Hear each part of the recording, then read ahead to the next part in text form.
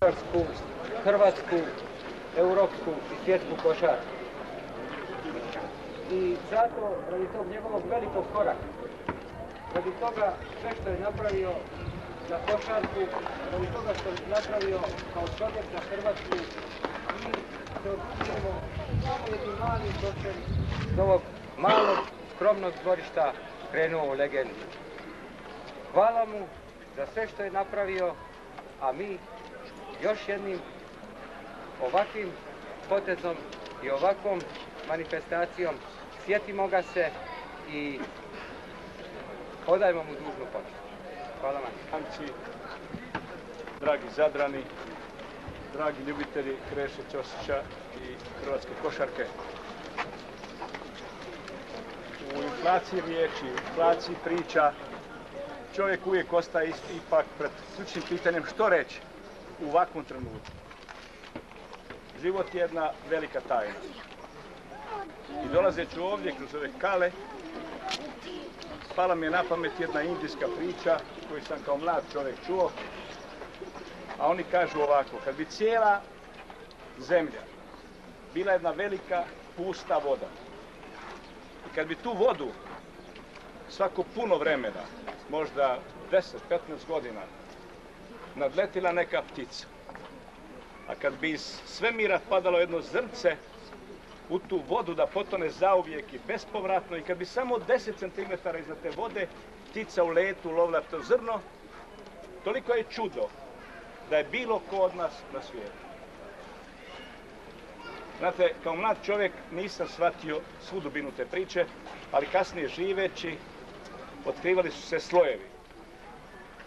Da je našega šukundjeda, šukundjeda, šukundjed sa svojom dragom šukumbabe, šukumbabe, šukumbabom legao u svojoj ljubavi pet sati ranije ili kasnije. Nikoga od nas u cijelom našem nizu ne bi I ta se, to se čudo dolaska na svijet ponavlja u svakoj generaciji iznova, u svakom koljenu iznova. I to je čudo čemu mi danas svjedočimo da su ovdje, u ovom prostoru, da su Barbante i njegova gospođa dobili jednog malog dječaka i da je taj dječak, ovo što kaže načelnik, ovdje napravio prve male velike korake svoga. Na sprovodima kažemo pomolimo se za onoga koji će prvi među nama krenuti pokojnikovim putem. Isto tako sad se pomolimo za onoga koji će prvi ovdje napraviti svoje prve korake, jer možda je to jedan od tih velikih, jedan novi Krešo Ćosić. Dok bude Zadra, bit će košarke ne samo u Zadru, nego u Hrvatskoj. Ovo jest koljevka košarke i iz te košarke se iznjedrio takav jedan velikan kakav je bio Krešo Ćosić. Njegovo uspomeni, mi smo se danas ovdje okupili sa zadovoljstvom i sa radošću, vjerujući da nije slučajno bio na svijetu, nego čudom, Božim čudom.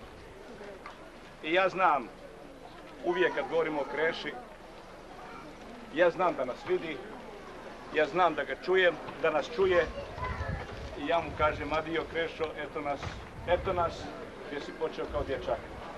Nekad je veća slava. Hvala vam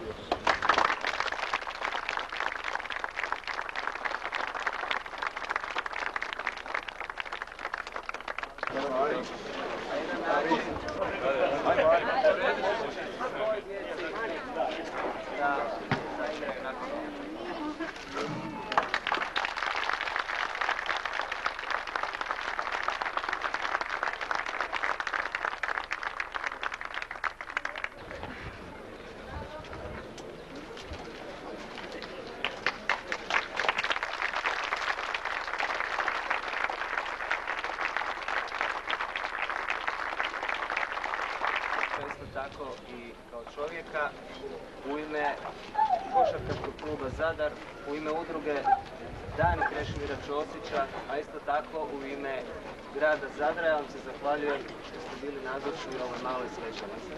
Nadamo se da će s ovog mjesta biti novih velikih zadarskih košarkaša.